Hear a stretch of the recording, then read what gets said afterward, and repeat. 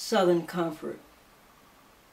All memories north fall fast down south, like finch droppings drying hard and white on the dust frosted windshields of old pickup trucks.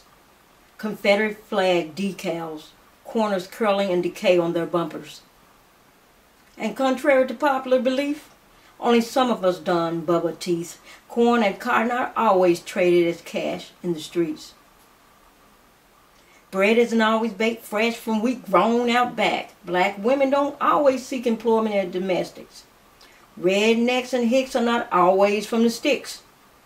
And sunset doesn't always find us in bare feet, seated on our curves in John Deere hats and white mammy scarves, starving brain circulations of the general population, waiting for our pet cows to come home. We actually have phones, at least some of us do. And there are some who find it too easy to ignore the real insult of not being asked to remove the mask.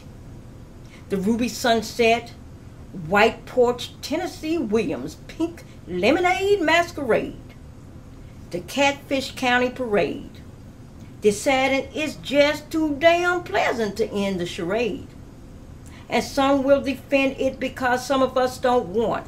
Some of us really don't want a real past, a valid present.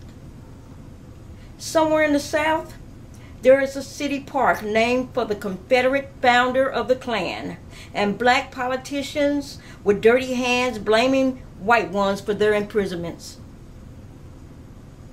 And there are places where reality can be a porch swing, dangling in modifiers, chain just strong enough to hold the old beast who mothered us in her dirty kitchen.